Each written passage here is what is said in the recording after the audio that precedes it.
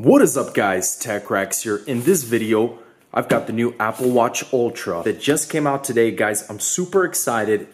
Let's go ahead and just check out how it looks like. This is a really cool fancy box guys. I have to say this is probably one of the cooler Apple unboxings I've ever seen. Just the way this thing opens up. Imagine an iPhone box being something like this, of this galore.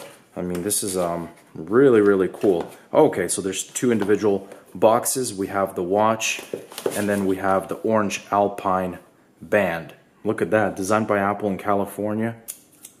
Oh my goodness, look at that new rugged design. Just screams boldness, screams adventure, screams uh, going underwater. Sapphire crystal, GPS LTE, dive 40 meters. Now it can actually go down to 100 meters which is like 340 feet or something, which is crazy. Now, personally, guys, I've never been a watch guy. I just don't wear watches. Um, you know, if you're a watch guy, you're probably going to be in the market for a watch. But I did have the very first edition Apple Watch. This was in 2015, uh, first edition. I did a drop test, and one thing I remember is the the moment I did a drop test, guys, the front face shattered right away.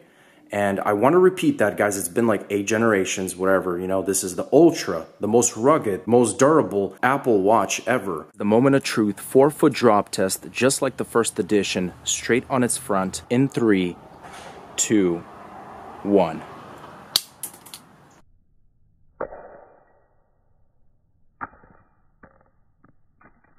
What do we have on the front? Apple Watch survived the drop there's no crack. Taking a quick look at the actual titanium case, you will see there are definitely some scratches. There's a scratch there.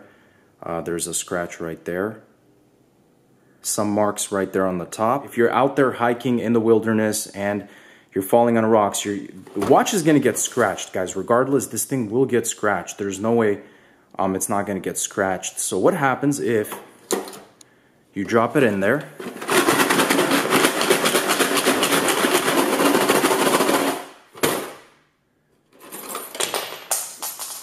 and just inspect the body here.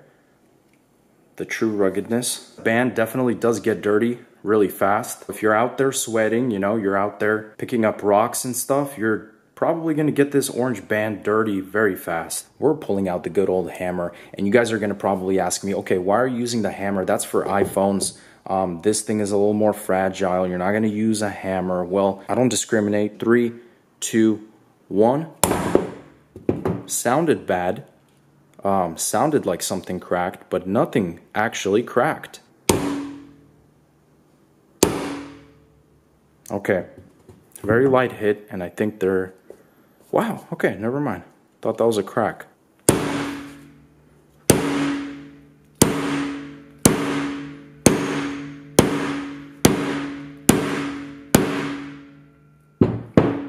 That's insane.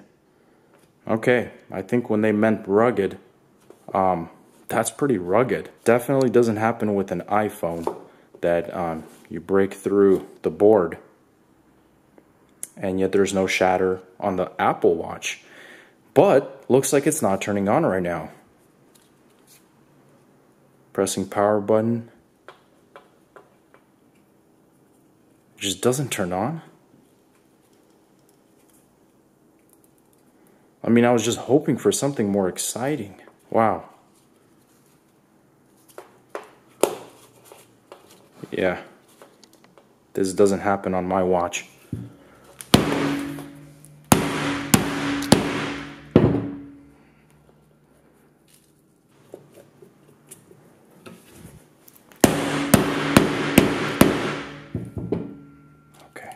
There you go. Now let's take a closer look here at the back. A little bit warm to the touch, as expected. Frosty, icy look. I think it's ready for winter. I think it's ready for the snow, for the blizzard. Hope you guys enjoyed that video. Thanks for watching. As always, stay tuned for more videos, and I'll catch you guys in the next one. Peace out.